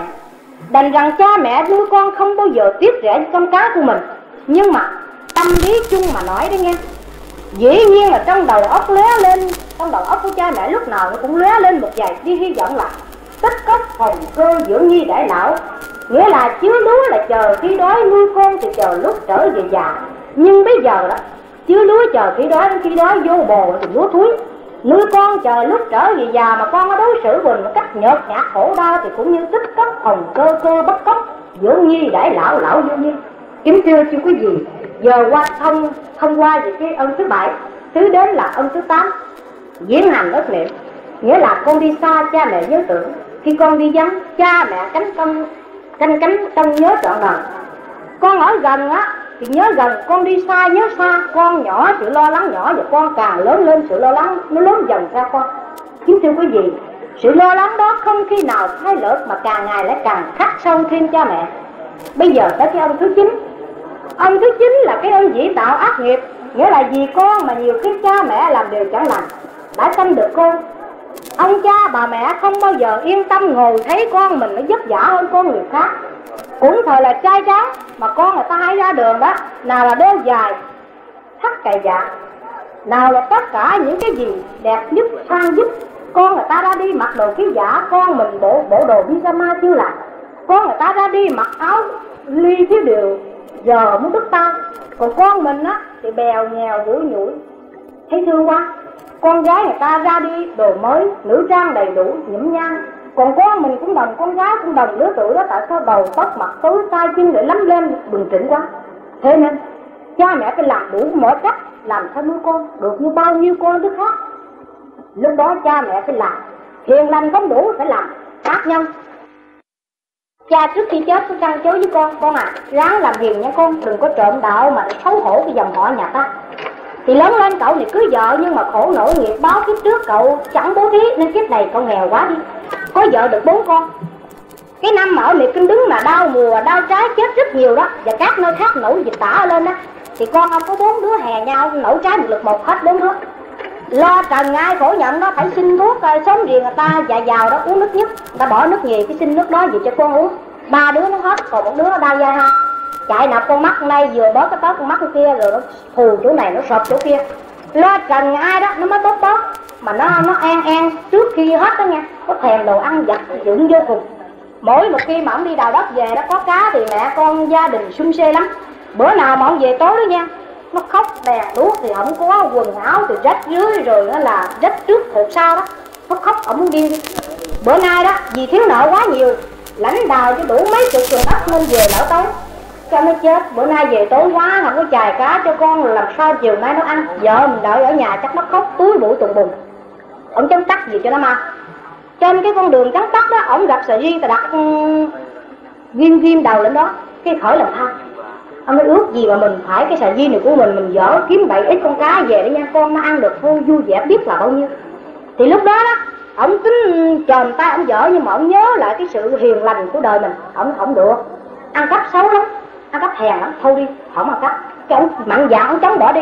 Ông chống bỏ cái này rồi đi, khoảng chừng trăm thước cái ông gặp cái khác nữa. Cái nó sửa sạn dở nữa, cái ông không được. Cha mình trói chứ đừng có làm bậy cái bỏ. Ông thắng được hai ba nhịp đầu, nhưng mà tới chừng nhịp cuối đó, tình thương nó dâng dâng cao hơn cái sự mà lời trăn chú của cha. Thế nên bây giờ nó thôi mình ăn cắp một cái, không lẽ nó hết của mấy trăm cái người ta? Thôi ăn cắp lần này thôi nghe, đừng có ăn cắp nữa khởi lắm. Ông nói dứt lời đó, ông nhắm giếng hồi, ông lấy cái sợi dây dở ra trong đó là có bốn năm con cá gì đó chưa kịp đổ vô xuồng thì ông nghe một tiếng thất thanh từ ở xa vọng lại. Nói chết rồi rồi. Mày thấy cái gì đúng không? Lúc đó biết tiếng của tiếng của ông chủ sợi đi bị mất. Cái ông này ông mất quá nhiều lần nên cái lòng của ông bây giờ đi ta tao nhức cửa gì con. Đã mới thề nguyện ở trong đồng trong bái. Ông nói, giái à cậu mở ông bà ông bà các đẳng anh nhân trong đồng trong bái chứng minh tôi bắt được cái đám nào mà ăn cắp của tôi đó nha. Tôi có hai phương tiện đối phó vì trời mà cũng tức, thật cũng giận nó đừng nói chứ tôi của tôi nó ăn thì tôi nó ăn cá tôi để thì duyên đặt đàng hoàng cho tôi. Lớp nó lấy luôn cả thầy di lẫn cá. Lớp thì nó đổ cá ăn thì duyên được tôi lúa chưa học. Ông có hôm nay mà cũng bắt được đó nha. Một là đánh cho đỏ tay nó thôi, chết sống mặt tình hai đó là bắt đền của hai mấy mấy năm nay. Bữa nay rủi cho cái ông này mới có mở hàng ra ta ăn cắp lần đầu. Gặp ngay vào lúc ông kia rình kịp lúc, cha, ông ông kia ông thọp xuống lại liền ông nói ông ơi ông ơi, tôi mới ăn cắp có lần ông tha cho tôi đi ông. Ông nói đâu có được, dễ dàng như vậy. Ông vừa nói giúp dòng sào nạn ông nạn ăn, còn cổ tôi lắc xuống ở dưới. Mệt kinh đứng mắt nước trong leo lẻo, dòm thấy tới cả cá lộ thấy kỳ té ông kia xuống đất, xuống nước rồi đó. Ở trên thì đánh được, xuống nước đánh bịch bịch mà trúng ai. Thành ra ông trở sào ông sọt đứng đứng hai, ba cái, xuống cái bực đứng bững ba, bốn cái, xuống cái bực trúng lỗ nào đó là lũng lỗ nấy. Cái sào bé lớn là lũng lỗ thịt bé lớn. Trúng ba sườn thì gãy ba sườn ngay ruột loài ruột chúng khổ lồi tim. Lúc đó đó là ta chúng phổi lồi phổi chúng tiêu lồi tim chúng tiêu cái gì? À, rồi lúc đó đó cả một số người, người ta đi đầm đó. Tám chín người ta ra xa xa cách trăm thước người hai trăm thước người ta thấy đánh đó. Ta mới la làng lên. Người ta nói ông dừng ta lại ông thôi tôi dặn hỏng ông chết bây giờ. Chuyện đâu còn có đó. Thì ông dừng ta lại sơ sơ lũng mới có ba bốn lỗ à. Cái người ta khiêng cái ông kia để lên cái xuồng đầu đất của ông. Xuồng đầu đất nước thì có rồi để trong trên sạp đó, máu mấy cái chỗ mà lũng đó, nó ra bằng đầu, lũng ngay ruột, nó loài ruột nó án ngay đâu có không chảy máu được. Còn mấy cái chỗ kia đó, nó ra máu lỏng rồi riết, nó ứ ngang thành máu cục, một khoảng tuôn ra một cục rất cái tổn thôi chứ nước quý cô bác thấy cái ngón tay mình mà đứt đây rồi kê trong dán nước coi nó nhiễu ra tỏn tỏn hay không? Còn có lỗ xào bể lớn, cái ruột lũng bể lớn mà máu chảy vô gì? Ông hiền. Hiền gì mà nói tiếng gần chết mà nói tiếng cũng hiền nữa. Cái người đánh mình, kệ quấy phải gì? Cáo cổ ông cái chân đã giận tôi không? Mà đằng này khiêng ông lên cái ông ngó qua cái ông mà đánh ông đó. Ông ơi ông ơi, ông đánh tôi vậy đó mà ông hết giận chưa? Nếu ông chưa hết giận thì ông cứ đánh tôi nữa đi. Ông đánh cho thịt tôi tan, xương tôi nát rồi từng mảnh dưỡng cũng được nữa. Miễn làm sao cho ông đừng thua, đừng kiện. Vì tôi biết cái sức của tôi không thể nào sống được dây ho. Nếu ông thua kiện ra tôi chết. Gia đình tôi một đồng, một chữ cũng không. Vợ tôi thì nghèo, yếu làm sao đủ tiền trả cho ông rửa tội tù, tội nghiệp. Vì ông có đánh đi, đánh tôi nữa đi ông. Ông kêu nói thôi, giận quá, đánh nhiều, giờ tôi không có giận nữa mà cũng không thư kiện gì hết trơn á. Ông nói nếu ông hết giận thì ông làm ơn ban cho tôi, cái ân huệ cuối là ông cho người rước vợ con tôi tới khi tôi gặp mặt lần sau cùng. Cái người ta nói, ông khỏi nói, người ta cũng đi kêu vợ ông rồi và một mặt ta báo cáo chính quyền cho hay. Ông nói, đừng bao giờ thua kiện người ta, tại tôi ăn cắp, người ta mới đánh tôi cho hả dạ nhưng mà có điều ông tâm mãi hướng mắt về cái chỗ xa xôi trong vợ chở con tới cho ông gặp mặt. Hồi ông hỏi, vợ tôi tới chưa mấy ông? Hồi ông nói, con tôi tới chưa mấy ông? Người ta nói, chưa, xa quá mà. Cái ông nói trời ơi, chắc tôi không thể nào sống được lúc vợ tôi tới đây. Chắc tôi chết. Ông kia ông nói, thôi bây giờ ông mệt quá, ông có muốn nói gì với vợ con, thôi ông nói lại đi. Rủi ông có chết, tôi đồ lại y cho. Ông nói trước phút lên chưa tôi không còn nói gì khác hơn là khi vợ tôi đến đây hãy nói với nó một câu. Ráng sống lại đương đầu ngoại nhập cảnh để nuôi con trong lương thiện. Lớn lên, ráng dặn con nó ăn ở hiền hòa, đừng tham lam mà phải chuốc lấy hậu quả chua cay chẳng hạn như tôi. Tai hại thứ nhất vì quá thương con mà làm điều bỏ ác. Tai hại thứ hai, cãi lời giáo huấn của mẹ cha. Nên bây giờ tôi bị chết trong một cách nhục nhã, đê hèn. Trời hãy ban phước cho con cha mẹ hãy ban cho con lời tha thứ. Ông nói cái đó, ông nói vợ, ông nói mình ơi hãy cho tôi gửi đoàn cố cho mình giáo dục. Ông nói cái đó, ông nấc nhẹ ngang rồi cái được tắt thở liền. Khi tắt thở rồi, quý cô bác biết cái xác mà biết khóc bao giờ không? Nhưng mà cái xác không còn thở, tư tưởng không còn. Tất cả mọi quán hờn tiêu tán, thế mà hai giọt nước mắt còn đầm đìa trên khóe mắt của xác chết đi. Lát sau, vợ đến, nhìn thấy xác chồng sần sượt trong dũng máu đó. Nàng ngã ra, tắt thở nhưng mà tắt thở đây không phải chết luôn chỉ chỉ xỉu thôi. Cái người ta bồng bà đem lại đó cực cho bà tỉnh lại đó. Bà nói lên tiếng nói trăn trối để chết theo bà nói mình á mình chết đau khổ quá.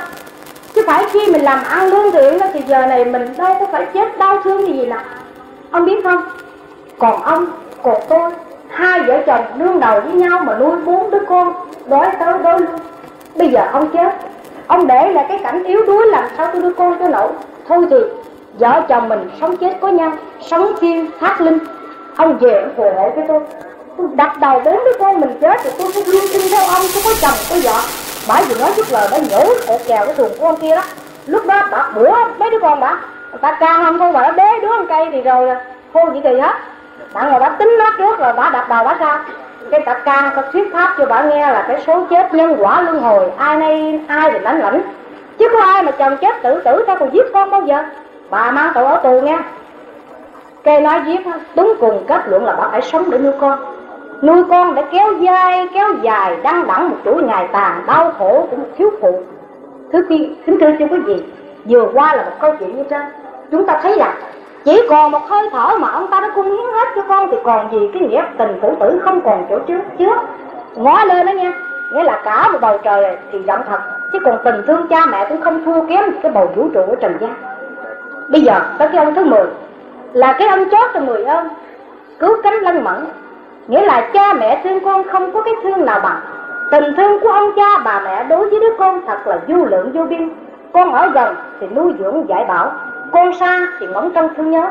Cái sự nhớ nhung con còn nhỏ đó, nó đi dự thuyết trình cũng như mấy em ở đây đó nghe mấy em đi dự chương trình mà chiều cho lát nữa nó bế mạc rồi mà con người ta về, mấy em chưa về đó. Cha mẹ sẽ thắp út đi kêu, đi kiếm sáng đêm. Đó. Rồi nếu các em ra đi hứa ba ngày về, bốn ngày mà có ngày hẹn không về thì cha mẹ chết đứng cả trong lòng. Rồi lớn lên thì lo cưới vợ gả chồng, gặp cho chỗ tương lai hạnh phúc. Rồi gặp hạnh phúc được rồi còn lo cho con được giàu sang sung sướng. Rồi con được giàu sang rồi còn lo cho tương lai cháu chắc thế nên cha đó 80 tóc bạc còn lo cho đứa con 60 tóc bạc mẹ 80 lương còn còn lo cho đứa con 60 lương còn. Chính thưa quý vị, vừa qua là mười ơn. Xét thấy công lao của cha mẹ cha mẹ sánh như trời cao biển rộng, vậy bổn phận làm con biết lấy chi đáp lại cho vừa. Tục ngữ có nói rằng, lên non cho biết non cao, nuôi con mới biết công lao mẫu từ. Và cũng có câu, công cha như núi thái sơn nghĩa mẹ như nước trên nguồn chỉ ra. Một lòng thờ mẹ kính cha, chưa tròn chữ hiếu mới là đạo con vậy thì bây giờ muốn tròn vẹn chữ hiếu không có bị méo mó ở phần nào, thì chúng ta phải làm sao? Bây giờ có giai đoạn trả hiếu. Thưa quý vị, trả hiếu nó cũng trả hiếu trúng và trả hiếu trật cũng như chúng ta đi đường vậy đó, cái buổi thuyết trình địa điểm ở đây, mà có cái ông nào đó, đè ông quên cáp này xã này, ông đi lạc tú tí múa ở đâu tỉnh khác á. Dầu ông đi chiếc bo bo, bây giờ cũng không ít lợi gì. Đi xuồng, bơi chậm, mà đi tới mục đích, không chừng sớm hơn cái ông chạy ô bo mà ông đi lạc đi lạc, chạy nhanh thì càng lạc xa, thì ở đây sự báo hiếu cũng vậy. Nếu báo hiếu ít, báo hiếu thường thường, mà báo hiếu trúc đó, thì có ích lợi cho mẹ cha có ích lợi cho mình. Còn báo hiếu trật mà báo hiếu có nhiều, có hay đi nữa đó, cũng là đi lạc xa làm cho cha mẹ khổ sầu. Thì giờ đây chúng tôi xin đưa ra hai phương pháp báo hiếu. Phương pháp thứ nhất là thế gian hiếu, phương pháp thứ hai, xuất thế gian hiếu. Thưa quý vị, thế gian là cái hiếu của người phàm phu tục tử còn trong dòng luân hồi sanh tử còn cái hiếu xuất thế gian là của người vượt ra khỏi dòng sanh tử là cái hiếu của thánh nhân. Thưa quý vị, trong giáo lý, đức thầy có đưa ra hai cái hiếu có nói tên và nói hạnh cái tên thứ nhất của người hiếu thế gian thì thầy nói, mạnh tông xưa cùng khóc mong đất khô này một rõ lòng hiếu nhi thưa quý vị vậy mạnh tông là ai? Làm cái hạnh gì mà được đức thầy nhắc nhở? Mạnh tông là một cậu con trai hiếu thảo đầy cung kính mẹ hiền. Có bà mẹ mà bà này đau chứng bệnh lạ thường là mỗi khi đau chỉ thèm măng ăn rồi hết bệnh khỏi cần uống thuốc chi cả. Ước ai đó không được toại nguyện. Thế nên mỗi một ngày bác bà, bà lì mòn đến hơi gờ thở gần cuối. Tội nghiệp cậu con trai đó phải buôn ba đó đây đi kiếm măng về cứu bệnh mẹ nhưng khổ nổi gặp có phải cái tháng hạn thế gian, mang tìm không được. Có một hôm, cậu đi nhiều lần về không gặp thì mẹ đau thêm. Bữa nay đó, cậu tìm không gặp măng đó, cậu ngồi giữa rừng, cậu khóc.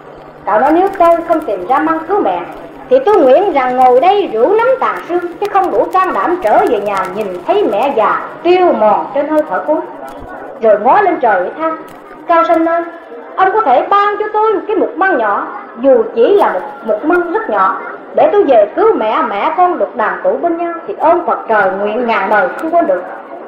Hoàng thiên bất phụ hiếu tâm nhân Thế nên động tới lòng trời Trời mới cho nhỏ giọt sương xuống Thế nên đất khô nảy một rõ lòng hiếu nhiên Ông bố một măng đem về cứu mẹ, Gia đình được xưng xê đoàn tụ. Chúng ta thấy, đó là đứa con chí hiếu và phần thế gian.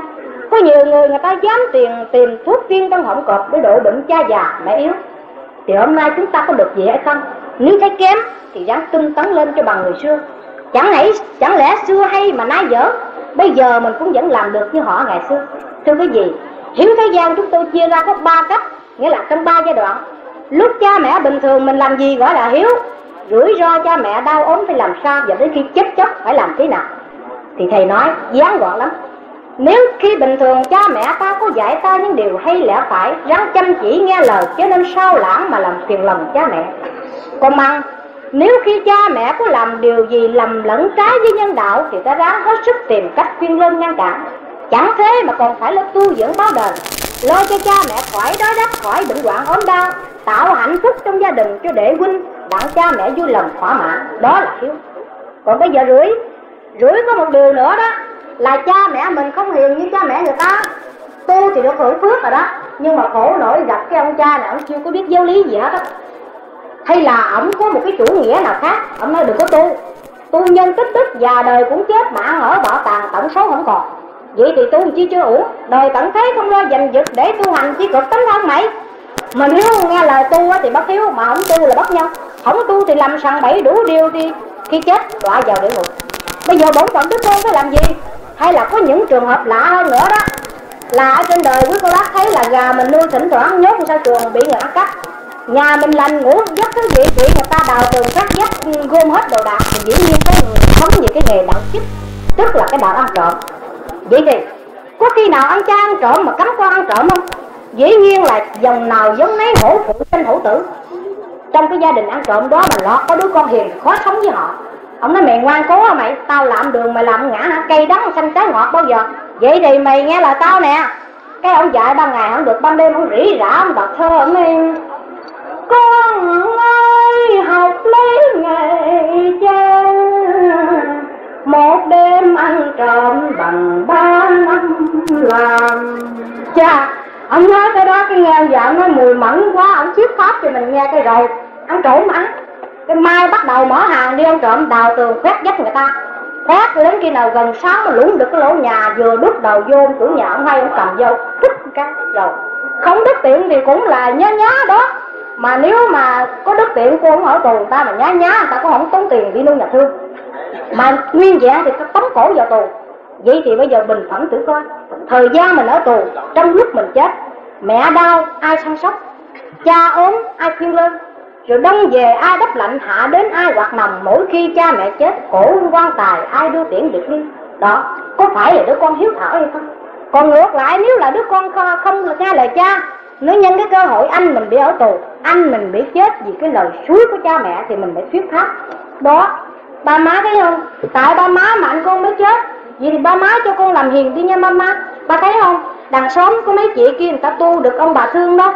Anh kia hiền được cô bác người ta kính mến có chuyện gì người ta cũng đùm bọc trở nha vậy thì ba má cho con làm hiền đi. Nha lúc đó cái tiếng nói thương làm cho cha mẹ bây giờ kịp thời thất tỉnh thì quá là để con hiếu thảo vậy. Thưa quý vị bây giờ tới lúc cha mẹ đau ốm Đức Thầy cho biết con người sở dĩ ốm đau là do căn tiền báo quả hậu kiếp trước Gieo bất lành bây giờ gặp toàn giống ác. Chẳng hạn móc cổ người ta thì bây giờ phải nổ bú nhất chỗ này. Đó, giết đầu người thì nổ đó nha. Đập đầu người thì bây giờ phải giết đầu dân dân.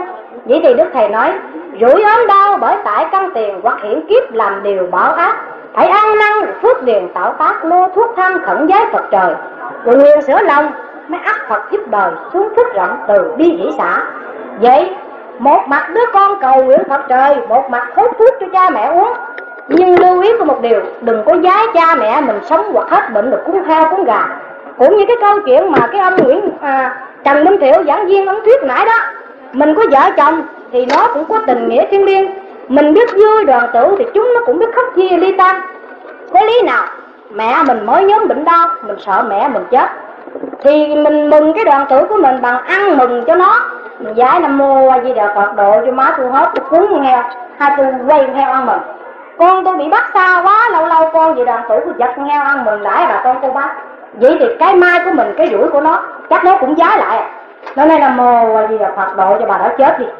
Nhưng bãi sống mà tôi bị mừng rồi vậy thì cái nào hơn cái nào. Không biết ông trời ông chứng cho ai à? Chứng cho nó à? Chứng lời nói của mình à? Vậy thì kém lòng quân tử và kém giả tự chúng ta không nên làm. Quá bất lành chưa trả giá kia mượn một ngàn, mà nếu không trả một ngàn thì còn yên nguyên một ngàn. Có khi nào quý vị nói, bác ơi, hôm qua tôi mượn ông một ngàn, bữa nay ông cho tôi ngàn nữa đi. Trừ ngàn bữa hổm. Có được gì không quý vị?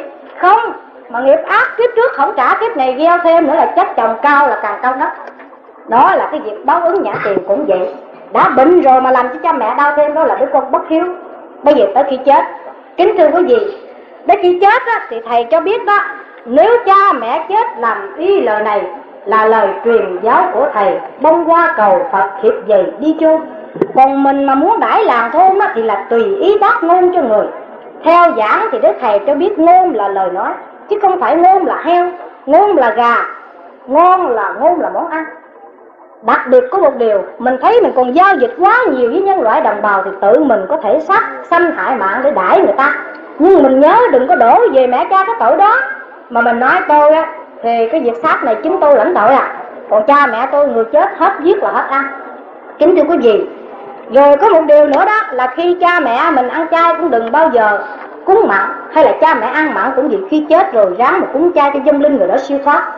Kính thưa chú quý vị, bây giờ xuyên qua về cái phần chết đi. Đó là thông qua cái phần hiếu thế gian. Bây giờ tới cái hiếu xuất thế gian. Xuất thế gian thầy có dạy cái hiếu nào không quý vị? Có chứ.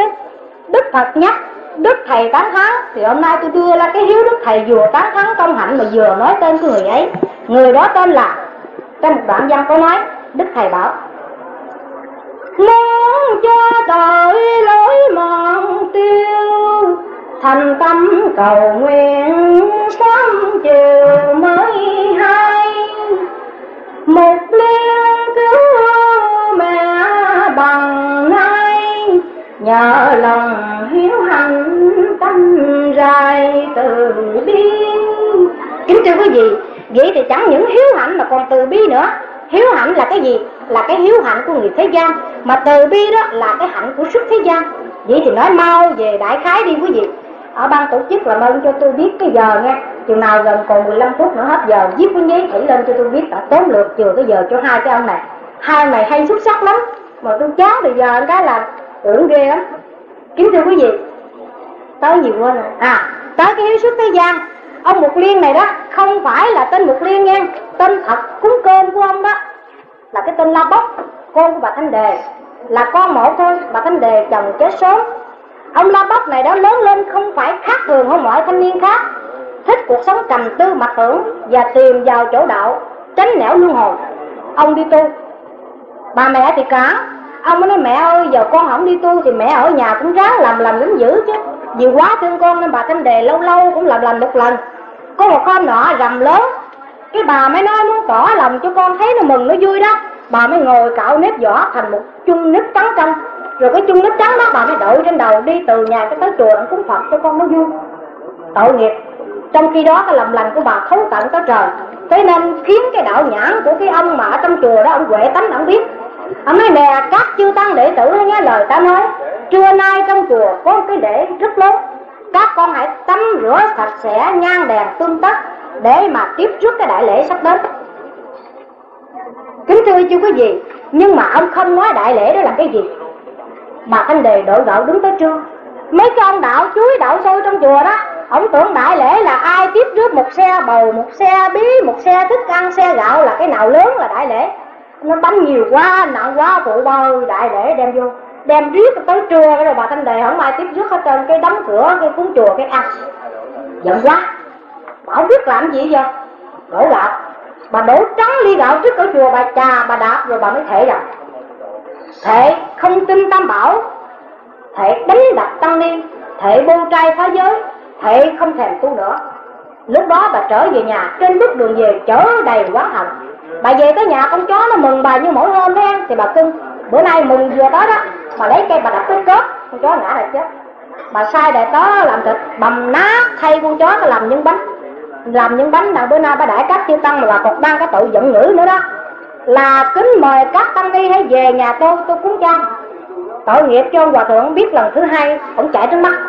À, nói các con ơi một chuyện đáng tiếc rất xảy ra mà trong đó tôi cũng có một phần tội lớn tôi muốn nói cái đại lễ đây không phải là tất cả những vật liệu bên ngoài, mà tôi muốn nói cái lòng cạo gạo của bà thanh đề mà các con không hiểu.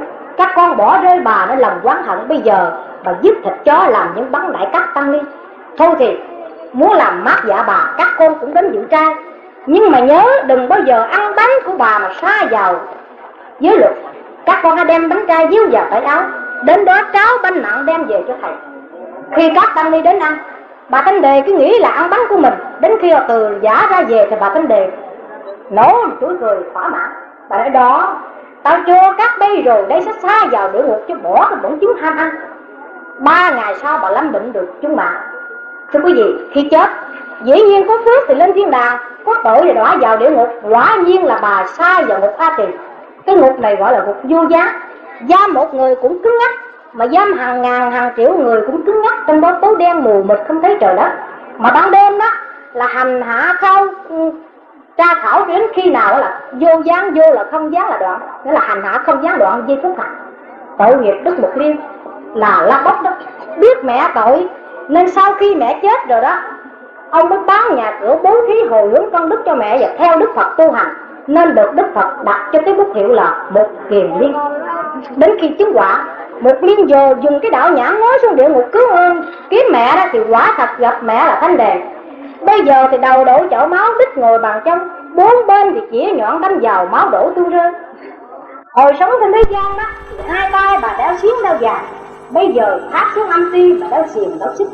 Hồi nào cái thế gian miệng ăn cao lương mỹ vị thì bây giờ phải uống huyết bẩn của ta rồi chẳng những thế, mà là dâu sẻ lớp vương đăng cưa chơi cắt lưỡi. Hồi sống trên dương gian mà bao nhiêu tội lỗi thì pháp xuống diêm la bà tội lỗi bao nhiêu kính thưa chưa có gì lúc đó một liên đau khổ quá. Tay cầm cái ma ha tích rồi tay cầm bình bát nước với lại bát cơm đem xuống cứu mẹ. Bà mẹ vừa gặp một kiều liên đi tới đó thì mẹ kêu một tiếng là, la bốc la bốc con, đem cơm đây cho mẹ, đem nước đây. Mẹ đói quá con ơi la bóc đem lại tới bọn bóc bọn bóc giết bọn đem vô ăn cơm có đổ trắng hết trơn á. Các người cùng danh chung với bà đã phải lượm cơm đổ với cát đã ăn bà thấy một lần quỷ quải hột ngọc trời lần thứ hai đó, lấy giò trà đạp, dẫn một cơm nướng với cát bà nói, con tao nó cho tao ăn, chứ đâu có phải là nó cho tụi bay ăn. Tụi bay ngang ăn như vậy người ta nói, tôi chỉ ăn cơm đổ thôi mà bà. Bà nói, chỉ cơm đổ chứ không được ăn. Lòng ác lúc đó thấu đậu tới lòng trời, thấy nên cơm trắng quá liền lửa nước trong quá mặn muốn ăn không được rồi mà khóc. Một liên nói có gì đó, cũng do lòng độc ác của mẹ chưa dơi đốt thế nên con trời quá lửa nước tiên quá máu mẹ không thể ăn được. Thôi giờ để con xin từ giả mẹ. Trở về bên kia nguyện cầu đức phật tiếp tay với con để mà độ mẹ. Nhưng điều cần yếu đó mặc dù con có tu nhờ đức phật từ bi hỷ xã nhưng cộng vào cái sự ăn năn của mẹ con mới độ được. Làm sao? Giờ đi lên nó đức phật mới chỉ cho cách là bây giờ muốn cứu mẹ được, thấy em con phải hái trái cây và đem tất cả những đồ trai cúng dường cho người ta thiết pháp, rồi đem cái công đức đó. Cũng như hôm nay, ví dụ có nhà đó đám dỗ tổ chức phiên thuyết trình, rồi mới hồi hướng cái công đức ngập ngàn trong gia đình đó. Xin hôm nay tôi hồi hướng công đức mẹ, tôi tên là gì đó? Vì lẽ đó mà sau khi một liên xuống lần thứ hai là bà thanh đề hết trơn tội bằng cách là cửa ngục đó bà tự do tự do ra vào, nhưng có điều là giảng sanh chưa được một liên xuống thuyết pháp lần thứ hai mới chắc mẹ đi. Nhưng đặc biệt đó là từ cái cửa địa ngục mà về bên kia cõi trời ở, nó trải qua một cái giai đoạn khổ là qua cái cầu nại hà cái cầu này đó rất cao, thơm thang đụng gần trên đây là ở dưới thì vắng mãn hà con nào cũng lấy quá to cách cổ như là đói từ khỏi nào bên kia cầu thì có con chó, đậu sớ kêu quan con chó mà bà giết.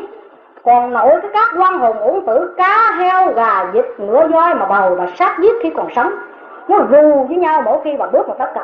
Nó la bà rung rinh sắp sửa té, mẹ té xuống dưới là làm mồi cho rắn mã xà bà rung quá. Bà nói con ơi, bên kia chó sủa, dưới nọ đó, rắn la lử, bên kia cát quan hồn nó ru mẹ sợ quá con ơi. Cái đất một liên mẹ hãy bình tĩnh, tập trung tư tưởng mà niệm theo con. Một liên niệm rằng, nam mô cứu khổ cứu nạn quan thế âm bồ tát ma ha ha tiếng niệm vừa chấm dứt thì bà thanh đề cũng niệm theo thì bỗng nhiên sóng lặng trở lại gió êm, nghĩa là rắn mã xà lặng hết. Các quan hồn bổn tử nó bỏ nó chạy hết. Thì bà mới đi thênh thang về bên kia cõi trời hào quang chiếu sáng. Kiếm thưa quý vị, vậy thì bây giờ bà có thể được giải thoát rồi nhờ ai? Nếu không nhờ đứa con của mình là lá bốc, thì làm sao giải thoát được cái cái cảnh mà xa già, xa vào địa ngục phá tiền thì hôm nay cha mẹ mình chẳng lẽ sống tới tám chín đứa con, đụng chạm với nhân loại trong mấy mươi năm, chẳng lẽ không có tội gì? Nếu có tội bằng hoặc hơn mà thánh đề, hoặc thua chút đỉnh thì cũng xa vào cửa thứ tám, thứ chín nào đó. Nếu không tu thì làm gì có đủ công đức lên trên trời, xuống địa ngục để cứu mẹ cha.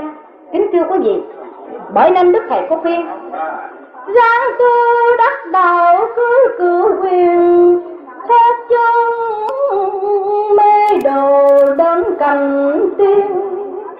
Ngõ đá con dài cân sáng tàu cho ta hình dốc học cơ quyền. Kính thưa quý vị, không có một đứa con nào thênh thang trở về quả thật ở mà nhìn thấy cha mẹ mình tội ấp lúc ở dưới mà chịu nổi.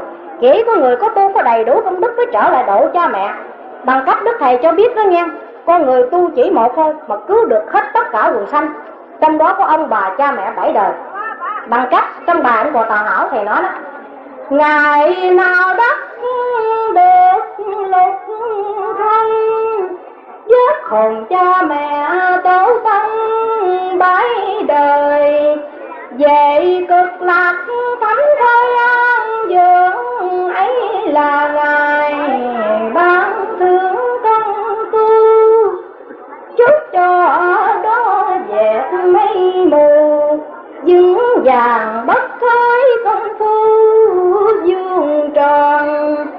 quý vị vừa qua là cái phần hiếu thức thế gian, bây giờ chúng tôi cứ trở qua cái phần lợi ích của người báo hiếu và tai hại của kẻ bất hiếu. Làm có người gieo nhân thì hưởng quả. Có hiếu với mẹ cha thì được quả con có hiếu lại. Bất hiếu với mẹ cha thì bị con bất hiếu lại. Bằng cách trong kinh có câu, hiếu thuận quần sanh, hiếu thuận tử, ngỗ nghịch quần sanh, ngỗ nghịch nhi. Bất tính đẳng kháng thiền đầu thủy, điểm điểm tích đức bất sa di. Nghĩa là mình hiếu thuận mẹ cha, sanh con hiếu thuận. Bằng ngược lại, bất hiếu, sanh con bất hiếu. Nếu ai không tin lực trả gia như vậy, thì hãy coi giọt nước trên mái nhà. Giọt trước nhiễu đâu thì giọt sau nhiễu đó không bao giờ xe chạy được. Giờ đây, chúng tôi xin nói phần tai hại của người bất hiếu. Kính thưa chú quý vị, cái câu chuyện bất hiếu này đó là ở tại cái vùng miền nam của chúng ta, có xảy ra một câu chuyện. Anh này đã tên là chợt. Người á thì không phải người các chú, sanh con đẻ ra tên con thằng chợt bà này chồng chết nha, chừa lại một số hương quả vườn đất nhỏ nhỏ gì đó. Có ờ, trồng cao, trầu đồ đó. Cái tới lúa đó, thì bà kêu lái lợi cân. Nhiều lần cái cậu con trai bữa nay đi chơi về gặp nó, ma, bữa nay tôi nói giáp mặt với bà một lần đó nghe. Mà không có quyền gì mà cân bán cái gì ở trong cái phần hương quả này. Bà thì sao vậy nói người ta nói đó, giàu út ăn khó chịu ba chết để lại cho tôi tôi là đứa con một. Vậy thì nếu mà ông nghèo đó thì tôi cũng phải thúng kiến ổng với bà.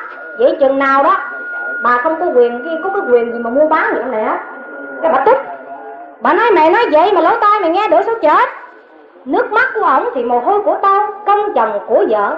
Ổng chết thì tao còn sống, tao cũng lo cho mày. Chừng nào tao chết thì của này mới thuộc gì của mày vĩnh viễn. Tao bán đâu mày làm gì tao?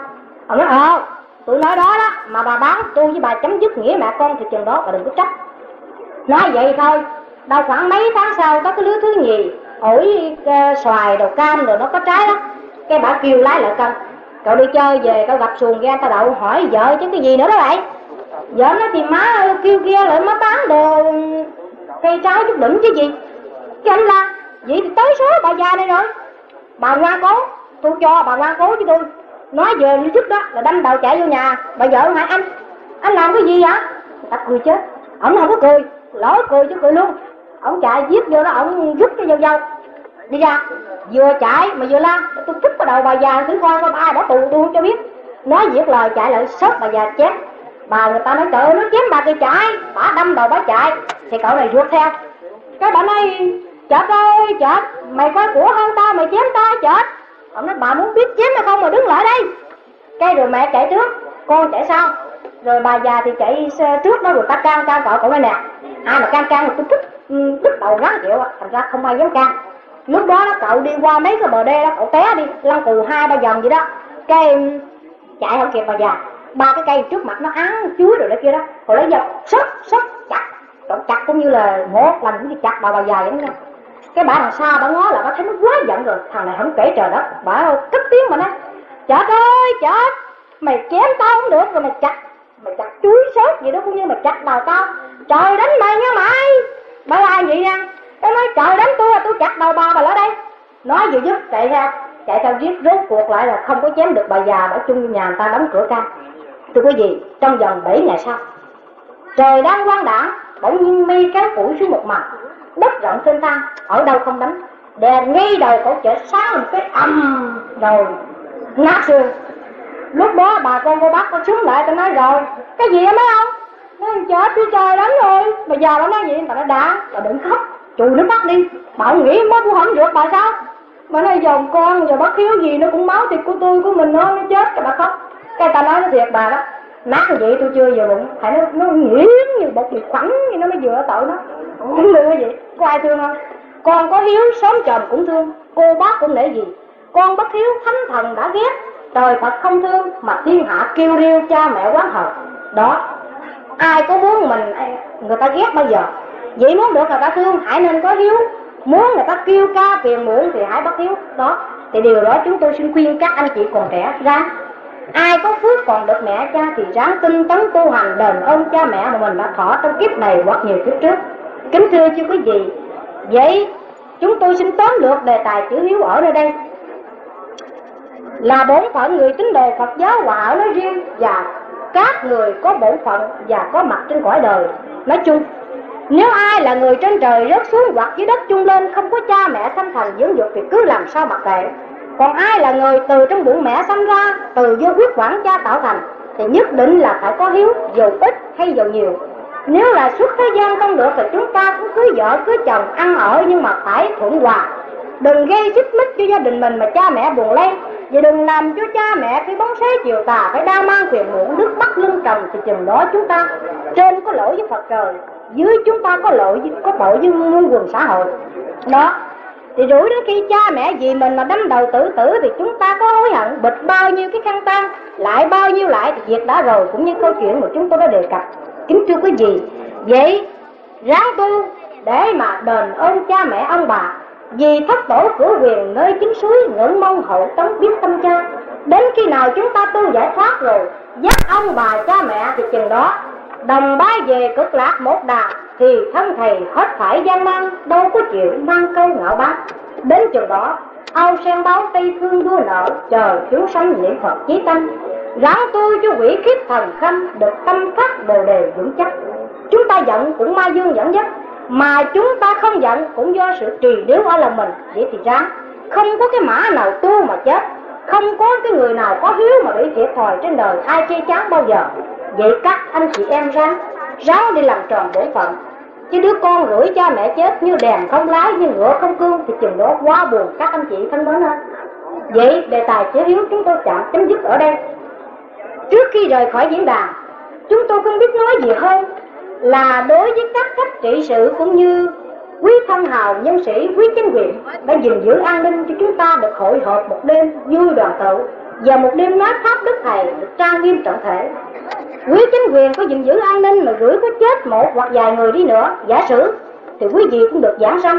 Nếu không công, đủ công đức thành phật đó, thì đức thầy có xác nhận rõ rệt rằng dầu không siêu cũng đặng về thân nhờ hai chữ trung quân. Ai quá hay là tự vì nước còn ghi lưng đưa thác vì đời thanh sự dân biên còn so vào những công tác của quý vị là Phật pháp khai thông khổ hải trường trường tâm bất thiết tôi tin rằng thầy sẽ thỏa dạ nơi chốn mây rồng vậy các tham ban cao trên cũng như ban tổ chức. Chúng tôi không biết nói gì hơn là thành tâm cầu nguyện đến thiên liêng ban bố phước lành cho liệt quý vị cũng như tất cả chúng sanh trong địa phương và trên bầu trời trái đất. Đều được thấm nhuần ơn Đức Phật và tu theo cái giáo lý của Đức Thầy, chống đến ngày lâm hoa đại hội có mặt để dễ dàng hiển tên cha mẹ giàu sát sự thân ái, kính chào chư quý vị nam mô bổn sư thích ca mâu ni phật. Nam mô a di đà phật.